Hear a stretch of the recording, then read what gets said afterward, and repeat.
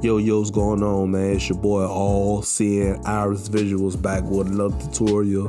Want to show y'all how to do glow lines within Premiere Pro without Adobe After Effects. Now, before we get in this video, if you're new to the channel, go ahead and subscribe. Make sure y'all like, comment, and share at the end of the video. Give me a thumbs up if you like it. Give me a thumbs down if you don't. And just so y'all don't miss any upcoming videos, go and click on that bell notification so y'all stay updated on any latest videos, uh, tutorials, and product reviews I got. So let's get into it. So what you will need for this tutorial, you will need a plugin called Universe. Uh, it's by a company called Red Giant. Uh, I will have the plugin in the description below. So let's get started. Now, I know uh, y'all have seen these plugins, or well, rather these effects in various uh, music videos. Um, you stay seeing me If you ever see a Young Boy video, he stayed hiding them in his video. Uh, Duke Deuce, a whole lot of guys had him in the video. Dave Migos had him in a couple of their videos, if I'm mistaken. So, going to show y'all how to do this. This tutorial is fairly easy. Um, only you will need is the plugin, but like I said, I will have that link in the description below. So, what we're going to do, we already got our session pulled up. Um, we got our main footage over here and we got the footage we want to transition transition over to with the effect.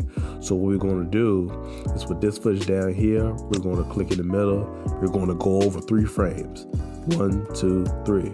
You can do that with the arrow key on your keyboard. You click that. When you hold it with the, the left button on your mouse, you hold Alt and you drag it up. Now, boom. Once you drag that up, you want to go ahead and right click on the one you just dragged up and add frame hold. Now we're going to be using this actual frame as our uh, for the actual effect. So boom. So you see that no matter how I scrub through it, it's not moving because we put the freeze frame effect on it. So well, the frame hold effect actually. So what we want to do now is go ahead and mask our image. So to do this easier way, if you're trying to get it like on point. In this instance, we got it on 75, so that way we can just move it over as we go along. Bam. So with that, you'll go to effect controls, you'll go to your opacity panel, and you'll click on the pen free draw bezier. So boom, once we do that, we go ahead and just start doing our mask. Now, for tutorial purposes, so this won't be all there, but go ahead fast forward this part. Um, I'll come back when I'm done.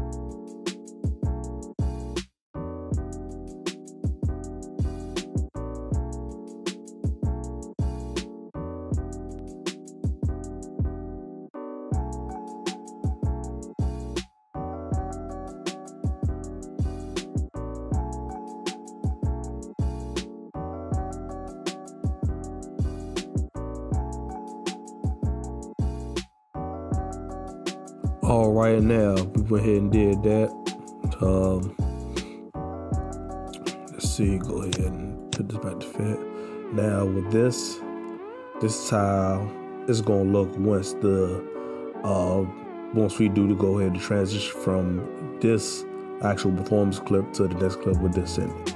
Now if you want to adjust, just widen the back up. I'm gonna go ahead and adjust, adjust a few things. I want this to look as good as possible, of course.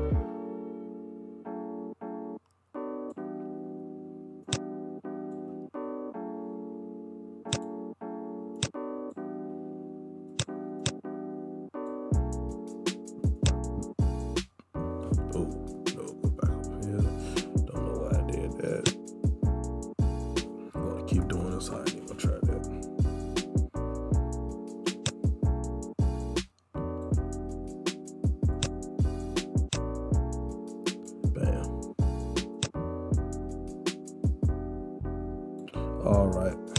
So boom. So now what we want to do, just so this effect can, you know, go as smooth as possible, you're gonna go ahead and right click on the clip we put the frame hold we did the mask on.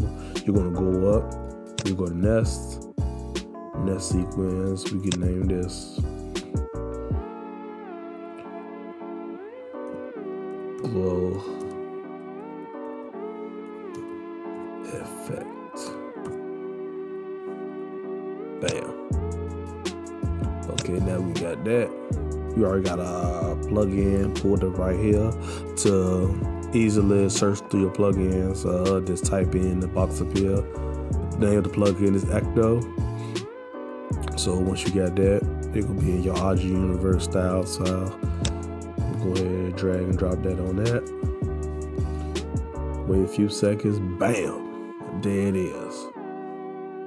Man, you scroll down on your effects controls and make sure when you and your effects controls you on the uh, frame hold clip we did the mask on. Make sure you're on that. So from here, you can set your glow, intensity, distortion, size, your color preset. Uh, right here, you can change your inner, let's see, inner and outer color.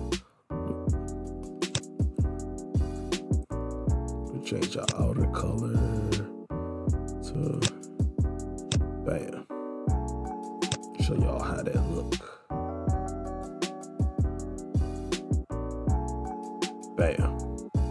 Now this plugin does take take some processing power, so I just uh, you have a fairly fast PC um, with at least at least 16 gigs of RAM. Like I'm running 32 and I'm running a, a quad core i7. So let's see, we got that. Oh, let me go back. Bam. So we got that, and we scroll through it. We pull that back up. Matter of fact, we where right here was red.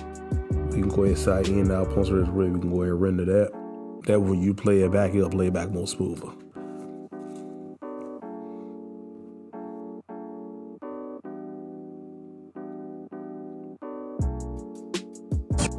Bam.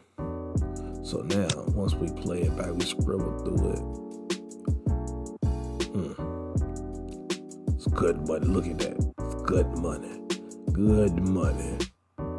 Like, don't don't that look good? Like, wouldn't you like that in your videos to make, you know, what I'm saying your project stick out? And I guarantee you, you put these effects in your videos, man, and best believe people gonna be calling your phone Cause when you doing stuff like this, people looking like, okay, he know what he doing. Like he he do them effect effects, you know what I'm saying?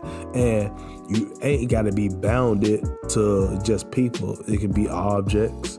You can like say if I wanted to do this door, do the same thing I do, do the same thing I did. Just do the door the same way we did this. You know what I'm saying? Like it, the possibilities with this plugin are endless as far as you look the glow effects or whatever. You know what I'm saying? So, uh, then that's that's it for real, for real. Uh, no more to it. Um, thank y'all for watching the video, man. Like I said, like, comment, subscribe. If you did like the video, definitely give it a thumbs up. If you didn't, go ahead, thumbs down. Um, I'm all seeing Iris, and I'll see you guys next time with another tutorial.